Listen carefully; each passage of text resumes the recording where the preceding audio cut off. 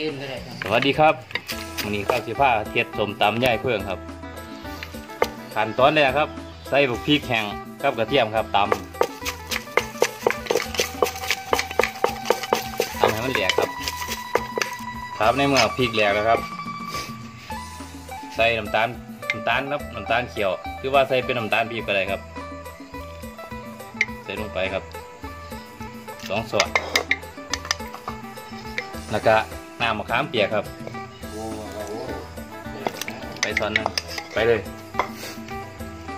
น้ำมะนาวคั้นสดใส่ลงไป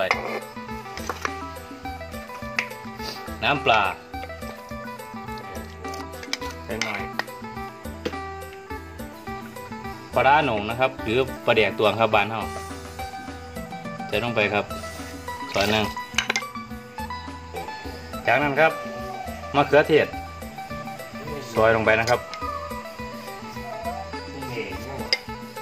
ซอยลงไปครับ จากนั้นครับใส่ผงนัวครับ ผงกลมกล่อม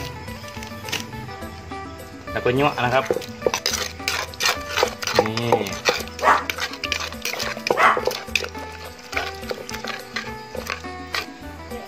จากนั้นครับ เอาบกฮุงลงไปครับ ตอนบกฮุงแบบใหญ่เพิ่งใส่ลงไปครับ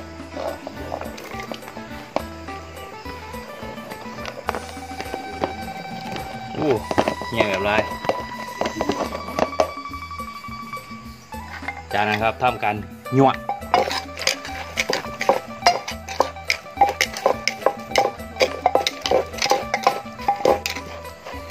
ยั่วครับยั่วจ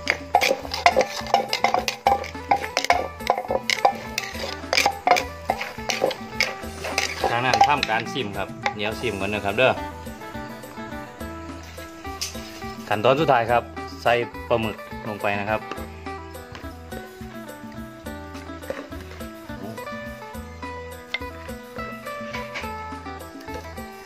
ยั่ว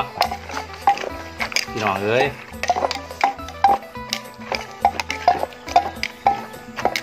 สุดยอดตัว เสร็จแล้วครับ เดี๋ยวเทใส่จานครับเอาโอ้โหเหี้ยพร้อมหลามาแล้วพี่นี่ครับเสร็จแล้วนะครับโอนสมตำพญายปักครับตัวนี้สุดยอดมากครับกินน้ำกันตำโอนข้าวปุ้นข้าวปุ้นนี่ข้าวปุ้นกินคู่กันครับจวดอีกแล้ว